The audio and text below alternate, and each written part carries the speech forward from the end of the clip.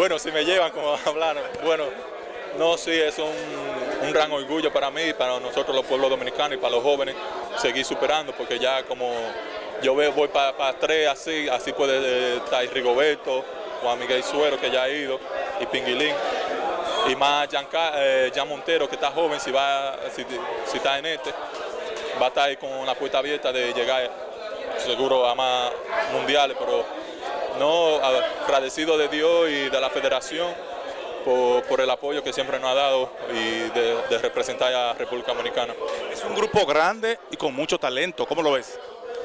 Bueno, sí, nosotros siempre hemos tenido talento, lo que lo siempre eh, ahora con el Che lo ponemos más en concentración, jugar más en equipo y eso, como ya se había dicho que nunca jugábamos en equipo y eso, no pasábamos la bola, pero como los números hablan por sí solos, eso es parte de eso, porque nosotros jugamos mucho en equipo ahora.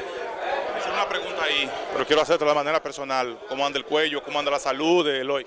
Bueno, la salud anda bien, gracias a Dios, ya como estoy aquí, estoy en eso y estoy fajado en eso, pero gracias a Dios todo bien. 100% saludable para el Mundial. Sí, con Dios mediante sí.